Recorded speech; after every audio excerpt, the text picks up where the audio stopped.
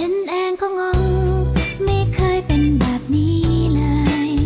ถามคนที่เคย เขาว่ามันคือความรักพบกันไม่นาน แล้วเราก็ห่างหายกันสักพัก หันไปทางไหน ก็เห็นหน้าเธอคนเดียว ยิ่งดึกยิ่งเหงาเธกี่โมง